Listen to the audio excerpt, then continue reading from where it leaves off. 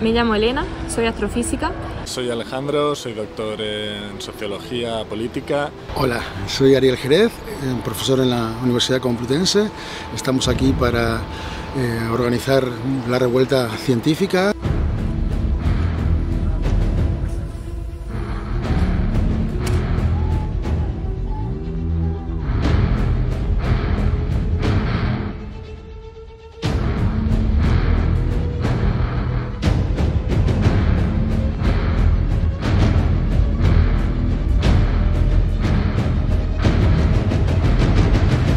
Marina Pérez Pascual y bueno, hoy aquí ha, sucedido una acción directa por parte de dos movimientos internacionales, Scientist Rebellion y Extinction Rebellion.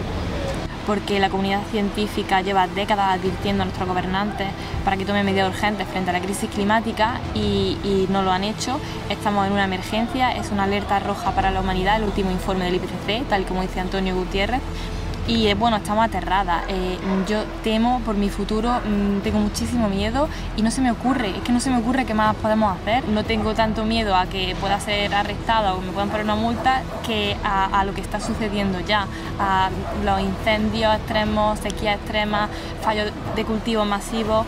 Eh, y bueno, no podemos limitarnos, la, comunidad científica no puede limitarse solo a investigar y a comunicar nuestros resultados porque hemos visto que no funciona, tenemos que pasar a la acción. La Semana de Rebelión es un llamamiento que hace Extinction Rebellion a la ciudadanía eh, para precisamente que se revele eh, y hagamos y forzar a nuestros gobiernos a que actúen decididamente frente a la emergencia climática, que no se tengan un tercer o cuarto plano, sino que sea el punto más importante porque nos va el futuro en ello. Estamos en un momento de, urgencia para, para, evidenciar que tenemos que eh, trabajar y forzar a los gobiernos a tomar medidas urgentes.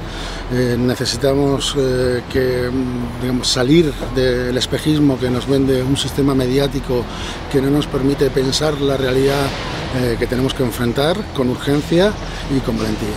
Si no hacemos nada, yo creo que estamos en, un contexto de, crisis permanente en el que este sistema nos, nos obliga eh, permanentemente al conflicto, a, generar más, cada vez más violencia. Tengo dos hijos y estamos aquí eh, por ellos porque en última instancia eh, el mundo que les vamos a dejar tiene que, tiene que tener unos mínimos y que tenemos que ayudar a entender que esto eh, aporte.